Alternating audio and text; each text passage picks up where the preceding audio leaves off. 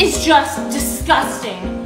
Rhode Island Novelty over here is trying to sell this nose pencil sharpener for $6.41 when they know just as well as anyone that I could simply rip my own nose off and use that as a pencil sharpener. But no, they need their precious money.